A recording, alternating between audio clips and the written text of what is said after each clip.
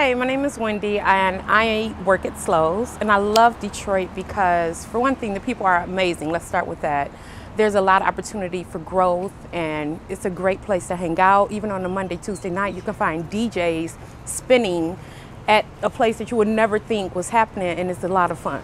There's a lot of things to do. Downtown is wonderful. I love Belle That's one place you definitely have to visit. It's the most beautiful free park that you can go to. And then if you want a cocktail, there's many places for that too. And then of course, great food.